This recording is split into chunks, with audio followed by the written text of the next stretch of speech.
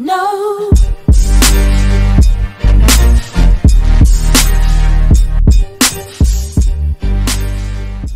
Halo semuanya, balik lagi bersama saya di channel Henry Gamers teman-teman ya.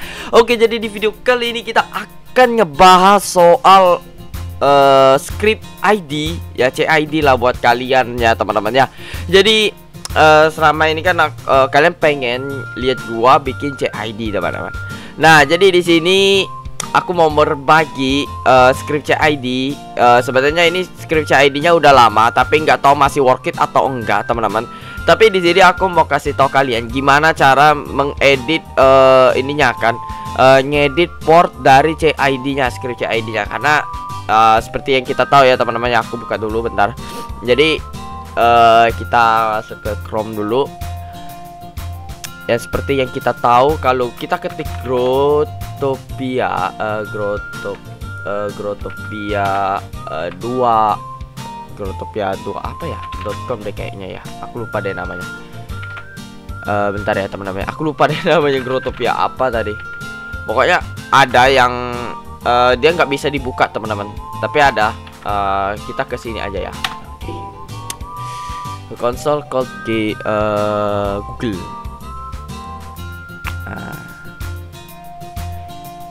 jadi di sini aku udah siapin scriptnya uh, gimana gimana pun udah kita uh, udah aku siapin teman-teman. Jadi yo kita bakal bikin ID ya teman-teman ya. Sebenarnya ini masih work it. Kalau menurut aku masih work it. Ke tergantung internet kalian aja teman-teman ya. Kalau menurut aku masih work it sih. Kita open dulu uh, nanti dia ada tulisan aktif. Uh, oke okay, uh, uh, open editor. Okay, kita open editor. Tetap masuk semua. Oke tunggu beberapa saat teman-teman. Di sini aku cuman bahas uh, ininya aja ya. Bahas di bagian portnya aja teman-teman ya. Kalau kalian mau pengen download scriptnya kalian bisa aja cek di deskripsi aku. Udah aku taruh di situ. Jadi tenang aja buat kalian oke? okay? Uh, eh, sebentar tunggu sebentar ini kayaknya ada ada masalah sedikit. Oke. Okay. Tunggu beberapa saat aja, teman-teman.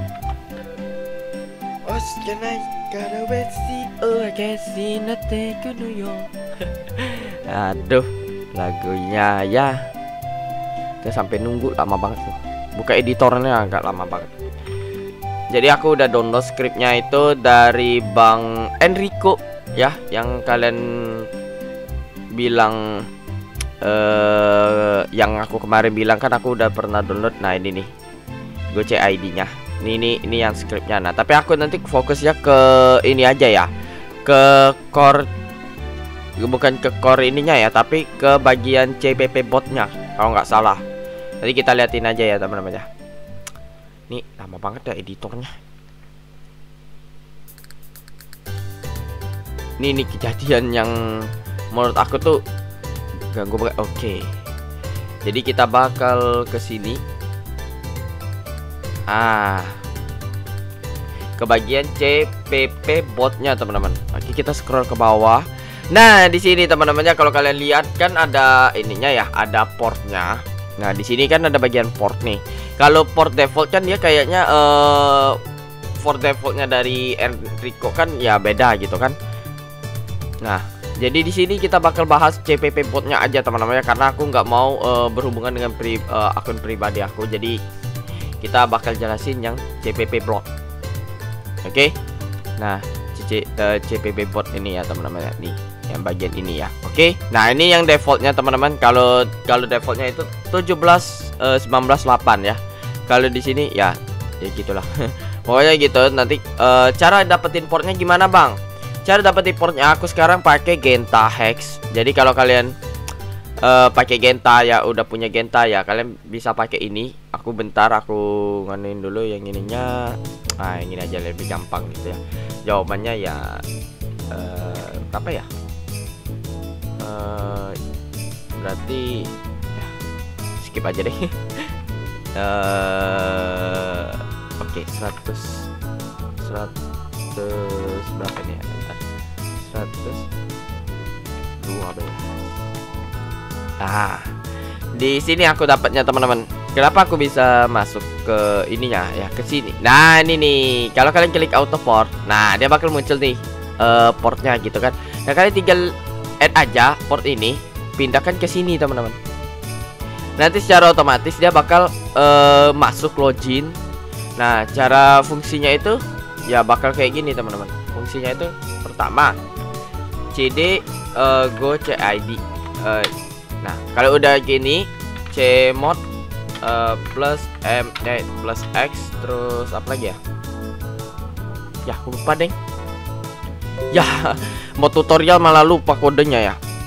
Uh, cmox. Oh. Uh, build. Ah, udah. Udah ini uh, build. Terus ke gini. bikin ini malah aku lupa deh nama kodenya oke kita tunggu beberapa saat teman-teman iya kita jawab ya dan nanti kita bakal ini nanti masuk ke sini oke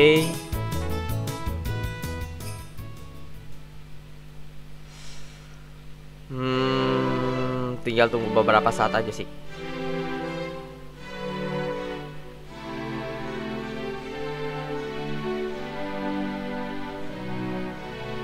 Oke. Tunggu 5 detik, teman-teman. Nah. Seperti biasa lah ya.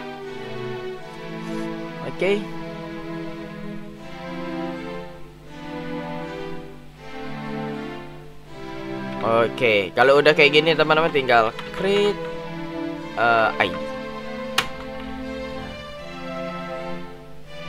Tuh, dia udah connect teman-temannya, udah connect.